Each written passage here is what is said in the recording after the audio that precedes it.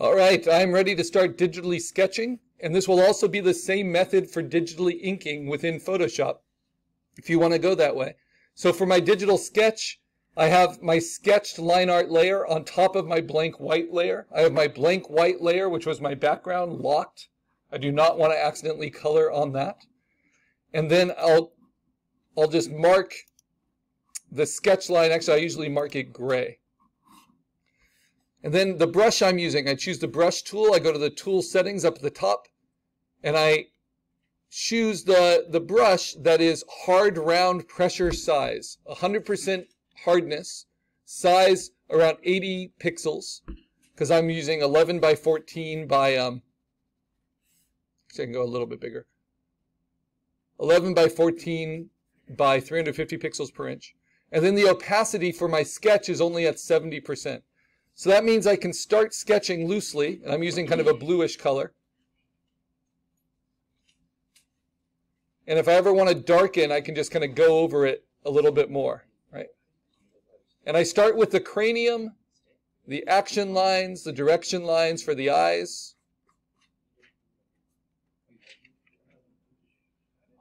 The mandible, the lower jaw, the ears, and I'm using what are called basic shapes. This is a good way to sketch your ideas, no matter how complicated or simple they are. Basic shapes are circles, squares, triangles, right? Rectangles, ovals, all those variations. Wedge shapes really help, which are triangles with their heads cut off. And then for something as complicated as like the mane on this kind of lion creature, I draw a big shape and then I cut triangles out of it.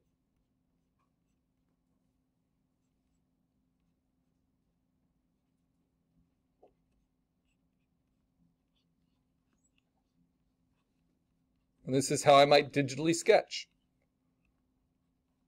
Remember, as long as it's free floating, you don't need to do a whole body illustration. You definitely don't need to do two figures.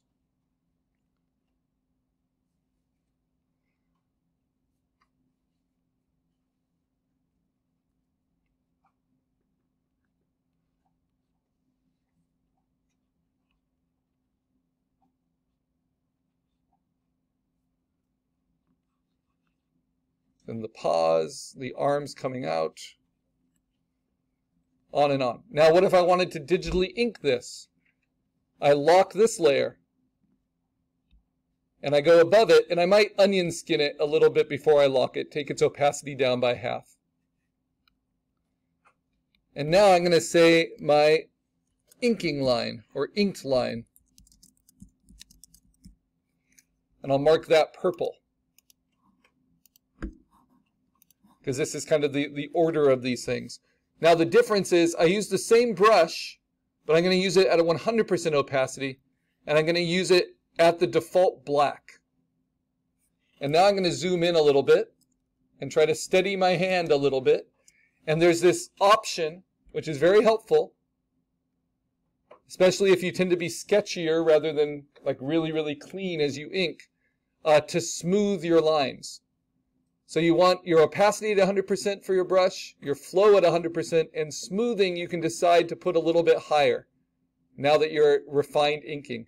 And this will get rid of some of the jitteriness in your lines, right? So if I start with the eye, it will slow it down a bit, but look how smooth it will make it. And you can do this in Photopea as well as Photoshop. And this is making clean digital line art. So this is a method within Photoshop for it. That will be this video. In the next video, I'm going to show you how to do it within Illustrator, which is my preferred way.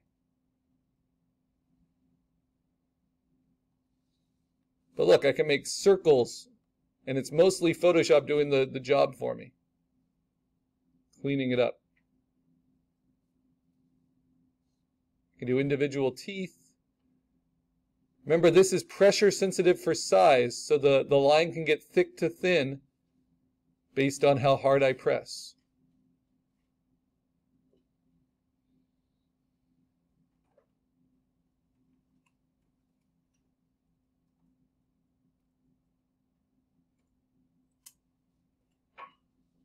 You can use as much detail or as little as you want, but this is line-based, not shape-based like your logo.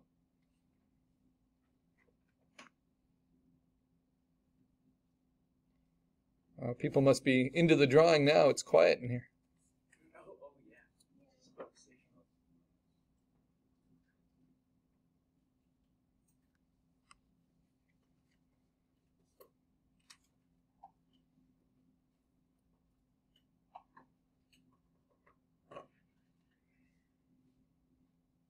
And a lot of it is just trying to maintain your kind of energy and your personality.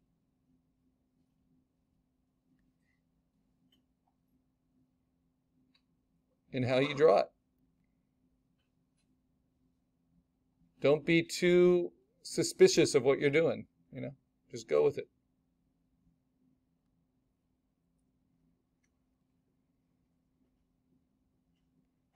And you can see my sketch is really loose. I can put in a lot of details with the digital inking.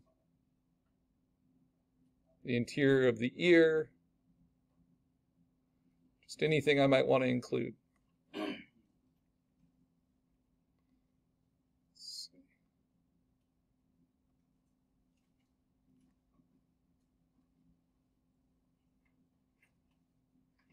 So that smoothing setting, which hasn't always been in Photoshop, is, is very handy.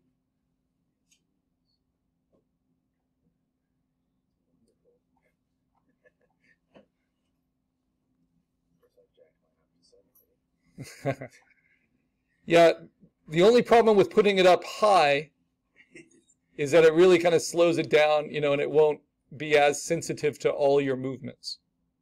But it still changes direction pretty well.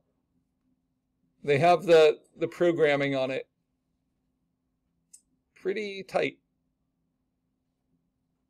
And honestly, it's supposed to be a little bit better and more responsive than, than tablets, like iPad kind of programs, but it's very similar.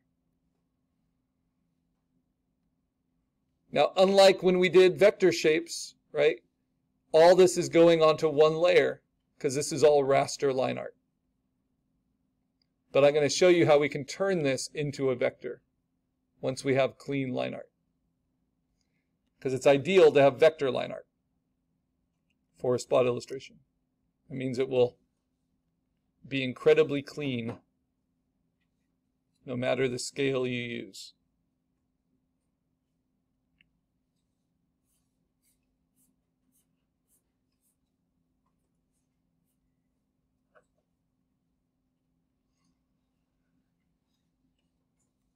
Now, anytime you want to check it, you can just turn off your sketched line and you see what your line art is. Let's throw the arm in there.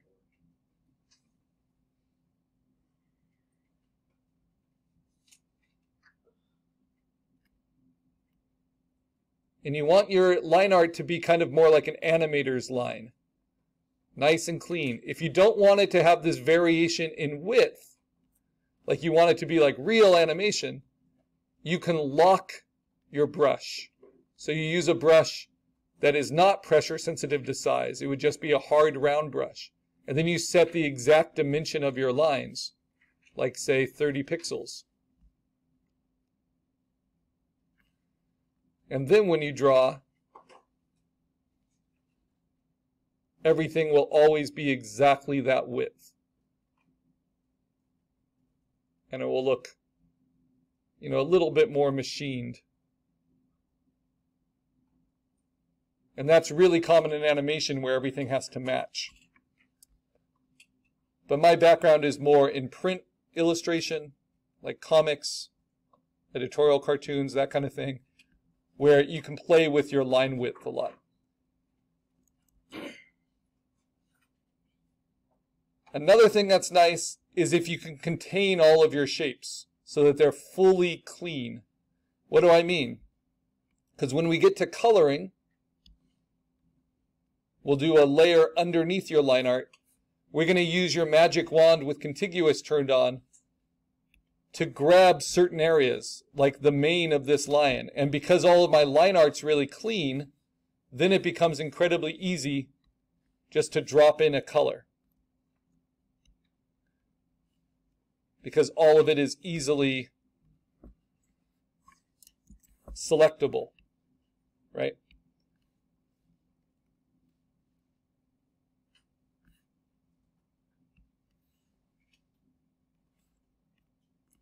So we're going to see how that works once we get to digital coloring.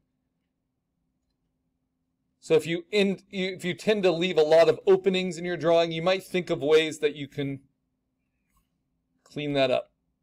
Like contain each shape. It will just make your life easier later.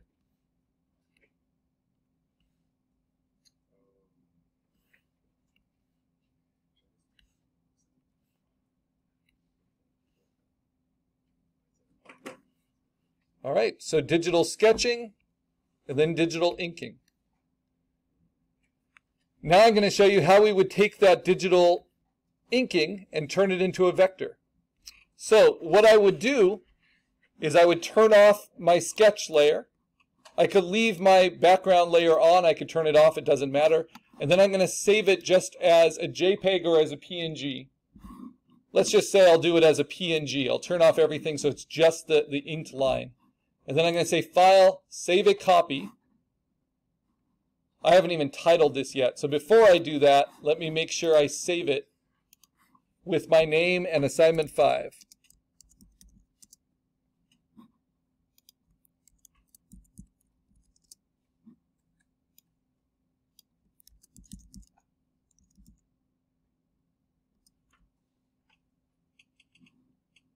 to the desktop. Okay, now I'm going to save it as a copy and just save it as a PNG with the free floating lines. This is how we can turn our digital line art that's raster, you know, at 350 pixels per inch. It's pretty clean, but you can see the pixels. How can we clean that up even more? Well, we can turn it into a vector. Okay, then what I'm going to do is I'm going to open up that PNG, this one, this free floating ink work, and I'm going to open it up in Illustrator.